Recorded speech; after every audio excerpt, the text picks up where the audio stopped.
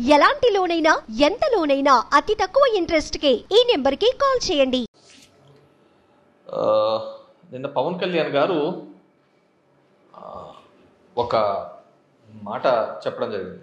మరి అతను ఏ కాంటెస్ట్లో చేసినారో అతనికి ఎవరు ఇలాంటి ఇన్పుట్స్ ఇస్తున్నారో తెలియదు కానీ ఆ ఐబీ ఆఫీసర్ బిగ్ థింగ్ దాని దీనికి సంబంధించి ఆంధ్రజ్యోతిలో వచ్చిన పేపర్ కథనం ప్రకారం. రాష్ట్రంలో ఇరవై తొమ్మిది వేల మంది అతివలు అదృశ్యం. ఆడపిల్లల అపర్ణహ అపహరణ వెనక వైసీపీ పెద్దలు. అంటే ఆ వెతుకోవడం వల్ల హ్యూమన్ ట్రాఫికింగ్ వెనకల వైసీపీ ఉందని. అండ్ అది అతను ఏదో ఒక ఇద్దరు ముగ్గురు ఒక ప్రాంతంలోనూ జరుగుతున్న పద్ధతిలో చెప్పలేదు. ఇరవై తొమ్మిది వేలు అంటే ఇట్స్ బిగ్ నెంబర్ మరి ఆయనకి ఎవరో ఎవరు ఇచ్చారో కానీ ఖచ్చితంగా ఇది ఒక రాజకీయ ప్రసంగంలోగా మాట్లాడాల్సిన అవసరం కాదు. ప్రతి ఒక్కరూ మనమందరం సీరియస్గా తీసుకోవాలి? ఎందుకు తీసుకోవాలి సీరియస్గా అంటే ఇరవై తొమ్మిది వేల మంది మిస్సింగ్ అంటే ఇట్స్ చిన్న నెంబర్ కాదు కాబట్టి. నాకు తెలిసి ఈయన కేరళ ఫైల్స్ అనే సినిమా వచ్చింది ఈ మధ్య. దాంట్లో కూడా చూపించారు. ముప్పై వేల మంది మిస్సింగ్ అని. అలా ఏమన్నా అనుకున్నాడేమో. ఆయనకి ఇచ్చిన ఐబీ ఆఫీసర్. ఒకవేళ అలాంటిది జరిగితే ఒక రాష్ట్ర వ్యాప్తంగా కాదు దేశవ్యాప్తంగా హై అలర్ట్ అవుతుంది. ప్రపంచవ్యాప్తంగా కూడా ఇంత పెద్ద నెంబర్ జరుగుతుంది అనేది దాని మీద ఒక ఇది పోతుంది. అలర్ట్ పోతుంది. కానీ ఈయన చెప్పిన దానిలో ఏంటంటే అటు ఇటు చేసి వాలంటీర్ల ద్వారా ఆ వాలంటీర్లు ఏం మాట్లాడినారు అనే దాని మీద ఆయన ఇవ్వడం జరిగింది. ఇది ఆ వీడియో ఇది వాలంటీర్ల ద్వారా ఏం మాట్లాడినారు అని చెప్పేసి. సో పద్దెనిమిది వేల మంది అమ్మాయిలు పదిహేను వేల మంది అమ్మాయిలు ఇంటికి రాకపోతే ఎందుకు మాట్లాడలేదంటే కేంద్ర నిఘా వర్గాల్లోని పెద్దలు నాకు చెప్పింది వైసీపీ వైసీపీ ఈ వాలంటీర్ స్కీమ్ని పెట్టారు. ప్రతి ఊర్లో ప్రతి గ్రామంలో ఎవడు ఎవరు మనిషి ఏ కుటుంబంలో ఎంతమంది ఉంటారు ఏ కుటుంబంలో ఆడపిల్లలు అక్కడ ఏమేమి ఉన్నాయి వాళ్ళకి వాళ్ళు ఎవరైనా అబ్బాయిని ప్రేమిస్తున్నారా? వాళ్ళలో వితంతువులు ఉన్నారా? ఇట్లా ట్రాక్ చేసి హ్యూమన్ ట్రాఫికింగ్ జరుగుతూ ఉంది వీళ్ళ ఇన్ఫర్మేషన్ వల్ల. నేను మీడియా కూడా చెప్తా ఉన్నాను. మీరు దయచేసి దీన్ని శోధించండి. నా కేంద్రం నిఘా వర్గాలను హెచ్చరించని చెప్తున్నాను. ప్రతి గ్రామ వాలంటీరు ఈ పార్టీలో ఈ గ్రామంలో ఎంతమంది ఉన్నారు? ఎన్ని ఇళ్ళు ఉన్నాయి? ఇంట్లో ఎంతమంది మగాళ్ళు ఎంతమంది ఆడవాళ్ళు? ఎవరు ఏ పార్టీకి? ఎవరికి ఏ లోపాలు ఉన్నాయి?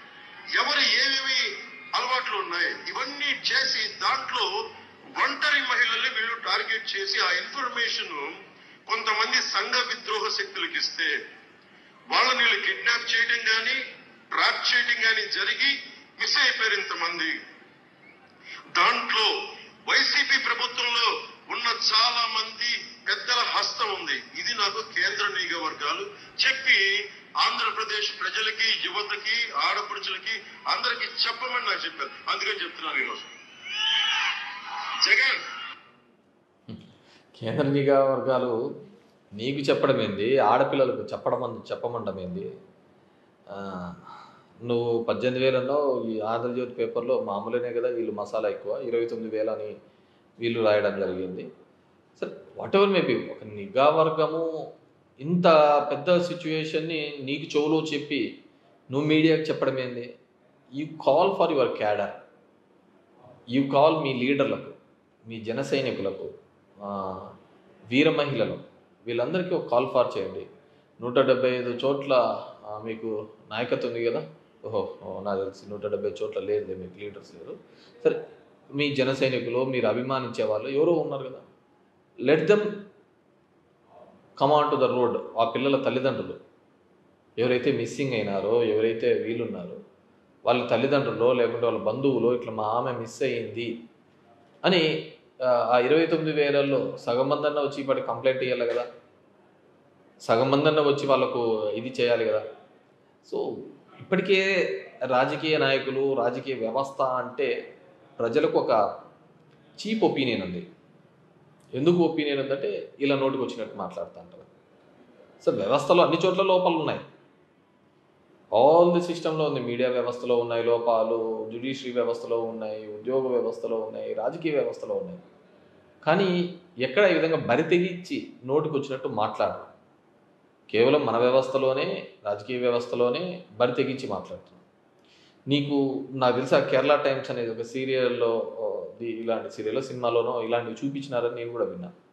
సో అదే నిజం అనుకొని దానిదే స్క్రిప్ట్ పెట్టుకొని మనం మాట్లాడితే తప్పు. ఒక రాజకీయ నాయకుడిగా ఒక రెస్పాన్సిబుల్ సిటిజన్గా ఒక పార్టీ అధ్యక్షుడిగా నేను మిమ్మల్ని కోరేది ఏంటంటే అలాంటివి ఏవైనా ఉంటే మీ మీరు మీడియాని శోధించమని చెప్పకూడదు. నీకు ఇన్ఫర్మేషన్ ఇచ్చినవా అని అడగల రే ఎలా మాట్లాడతావు? నేను పోయి అడ రేపు పొద్దున పబ్లిక్కి చెప్పాలంటే నన్ను తిడతారు వాళ్ళు.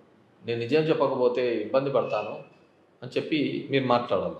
సో ఇంతకుముందు ఉన్న జన్మభూమి కమిటీలు వద్దు అనుకొని వాలంటీర్ వ్యవస్థ తీసుకొని రావడం జరిగింది. అసలు వాలంటీర్ వ్యవస్థ దాని ఉద్దేశం మీకు అర్థమవుతుంది? గతంలో చంద్రబాబు నాయుడు గారు కూడా ఇలాగే మాట్లాడినారు. వాలంటీర్లు ఎందుకు? వాళ్ళకు గోని సంచులు మోయడానికే? వాళ్ళ ఆడపిల్లలు ఇంట్లో ఒంటరిగా ఉన్నప్పుడు వీళ్ళు పోతుంటారు అని మాట్లాడారు సేమ్ లాంగ్వేజే. సేమ్ ఆలోచన విధానంతోనే మీరు మాట్లాడుతున్నారు. మనం మాట్లాడేది ఒక మహిళల గురించి ఒక ఇంత సెన్సేషనల్ ఇష్యూ గురించి మనం మాట్లాడుతున్నాం. సో చాలా అతి చూచి మాట్లాడాల మనం మాట్లాడే పద్ధతిలో. అసలు వాలంటీర్ వ్యవస్థ అంటే ఏందో మీకు అర్థం కావటం లేదు. వాలంటీర్ అనేవాడు మామూలుగానే మామూలుగా తిరుపతి బ్రహ్మోత్సవాలప్పుడు కూడా వాలంటీర్లను తీసుకుంటా అంటారు. ఎక్కడైనా కష్టం ఉన్నప్పుడు వరదలు వచ్చినప్పుడు కానీ ఇంకోటి వచ్చినప్పుడు కానీ అక్కడ వాలంటీర్గా జనం వెళ్ళి పనిచేస్తూ ఉంటా ఇక్కడ వైఎస్ఆర్ కాంగ్రెస్ పార్టీ వాలంటీర్లు అనే వ్యవస్థ తీసుకొని వచ్చి వారికి గౌరవ వేతనం ఐదు వేల రూపాయలు గౌరవ వేతనం ఇస్తూ వాళ్ళు వాళ్ళ పనితో పాటి రెగ్యులర్గా వాళ్ళు ఏ పనైనా చేసుకోవచ్చు ఏమైనా చేసుకోవచ్చు. చేతో పాటి ఈ పని కూడా చేయమని చెప్పి చెప్పినాం. దీంట్లో ఫిఫ్టీ పర్సెంట్ నాకు తెలిసి యాభై పర్సెంట్కి పైగా మహిళలే ఉన్నారు వాలంటీర్లుగా. వారు గృహిణి కావచ్చు చదువు అయిపోయి వేరే దాంట్లో ప్రిపేర్ అయ్యే మధ్యలో దీనిలలో ఉన్నామనే పద్ధతిలో కావచ్చు. అలా చాలామంది గృహిణులే ఉన్నారు వాలంటీర్లు వీళ్ళే ఉన్నారు.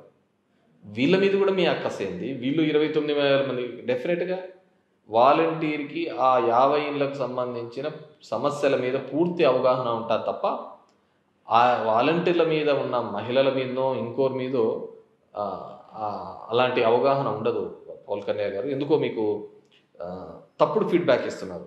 మొన్న కూడా ఏదో మాట్లాడినప్పుడు చూసినాము. ఇట్స్ దయచేసి కమ్ అవుట్ ఆఫ్ దట్. మీరు ఒక పబ్లిక్ పర్సనాలిటీ. హ్యూజ్ ఫాలోయింగ్ ఉన్న పర్సనాలిటీస్ సో మీరు మాట్లాడే ప్రతి మాట విలువైనది. మన మాటలు గాలి మాటలని ఏ రోజైతే జనం అనుకుంటారో ఆ రోజు మనల్ని రిజెక్ట్ చేస్తారు. అరే పవన్ కళ్యాణ్ మాట్లాడినాడంటే ఉండరా ఏదో ఉండాలరా అని అనుకున్నారు ఖచ్చితంగా నీ అంట సేల్ అవుతారు. సరే క్రౌడు ఈలలు గోలలు ఇవన్నీ ఎక్కడున్నా కానీ ఉండేటివే. దాన్ని మీరు నేను అనే కాదు సినిమా అన్న వాళ్ళ తర్వాత మీరు ఒక అద్దంలో ఉంటున్నాము. మా గ్లాస్ హౌస్లో ఉంటున్న వాళ్ళు. మిమ్మల్ని చూడడానికి రావడానికి అదొక కొడతాను. అన్ని సమస్యలు మీ వల్లనే పరిష్కారం అవుతాయి మీరంటే ఒక స్క్రీన్ మీద మేము మీకు పూలేస్తారు పూజిస్తారు దేవుడుగా అనుకుంటారు నిజ జీవితం ఆ విధంగా ఉండదు కదా? ప్రతి ఒక్కరికి ఇది ఉంటుంది. సో అది చాలా తప్పుడు మాటలు మాట్లాడినారని నా ఉద్దేశం. వాలంటీర్లు అనేది ఏంటంటే ఆ ఇంటికి సంబంధించిన సమస్య ఏదైనా కానీ ఉండి వారికి ప్రభుత్వం నుంచి వచ్చే సంక్షేమ పథకాలు కావచ్చు లబ్ధి కావచ్చు అవన్నీ అందించడమే ఈ వాలంటీర్ల యొక్క లక్ష్యం. సో ఎక్కడో ఉండొచ్చు పాయింట్ వన్ పర్సెంట్. ఈరోజు మూడు లక్షల కోట్ల రూపాయల దాకా ప్రజలకు నేరుగా డబ్బులు అందించినప్పుడు ఒక్క పర్సెంట్ కూడా ఫలానా చోట అవినీతి జరిగింది అనే పద్ధతిలో ఎక్కడే కానీ రాలేదు. That shows. అదే జన్మభూమి కమిటీ మెంబర్లు ఉన్నప్పుడు ఏం జరిగింది? మీరు మాట్లాడలేకపోయినారు. జన్మభూమి కమిటీ మెంబర్లు ఉన్నప్పుడు ఏ విధంగా ప్రతి సంతకాని సంతకానికి వాళ్ళ ఇళ్ళ కాడికి పోయే వాళ్ళు క్యూలో నిలబడేవారు. ఇప్పుడు వీళ్ళే వీళ్ళ దగ్గరికి వస్తున్నారు. సో మీరు వాలంటీర్లు అంటే వాళ్ళు పెనభూతము వాళ్ళు ఏదో ప్యారల సిస్టమ్ నడిపిస్తారు. ఇట్స్ సర్వీస్ ఓరియంటెడ్ కోవిడ్ టైంలో మీకు తెలుసో తెలియదో వాళ్ళ ఇంట్లో తల్లిదండ్రుల దగ్గరికి కొడుకులు కూడా పోలేని పరిస్థితి. వాలంటీర్లు వెళ్ళి మెడి మెడిసిన్స్ ఇచ్చినారు. వాళ్ళని ముట్టుకోవడానికి ఇబ్బంది పడిన పరిస్థితి. వాళ్ళను ఇది చేసినారు. వరదలు వచ్చినప్పుడు గోదావరి జిల్లాలో వరదలు వచ్చినప్పుడు వీళ్ళే వెళ్ళి అక్కడ హెల్ప్ చేయడం జరిగింది. ప్రతి ఒక్కరు కూడా అరే ఈ సిస్టమ్ అంతా ఇలా తయారు చేసినాడ జగన్మోహన్ రెడ్డి ఇంత ఇది అని చెప్పేసి. ఈరోజు మేము చేసే సిస్టమ్ నచ్చింది కాబట్టి మిగతా పార్టీలన్నీ మా క్యూ పడుతున్నాయి. మేము వాలంటీర్లను తీసేయమని మేము వాలంటీర్లను అలాగే ఉంచుతామని సచివాలయ వ్యవస్థను తీసేయము అని చెప్పేసి పదే పదే ఎందుకు చెప్తున్నారు? మీరు కూడా చెప్పినట్టు నాకు గుర్తు. ఎందుకు తీసేస్తున్నారు? The trust. వీళ్ళే పనికి మాలో అయితే మీరు ఈ వ్యవస్థ తీసేస్తామని చెప్పాలి కదా? వీళ్ళే ఏ దానికి ఉపయోగపడరంటే మీరు ఈ వ్యవస్థను తీసేస్తామని చెప్పాలా? సో దిగజారిపోతున్న రాజకీయ వ్యవస్థను నిలబెట్టాలి అంటే మనం హుందాగా ఉండాలి. సరే మనం మీద పది మంది మాట్లాడుతూ ఉండొచ్చు. మనం ఆ స్థాయికి వెళ్తున్నామో లేదు? మీరు స్టేట్ అధ్యక్షులు మీరు మాట్లాడే ప్రతి దానికి కూడా ఒక అర్థం ఉండాలని చెప్పేసి కోరుకుంటున్నాం.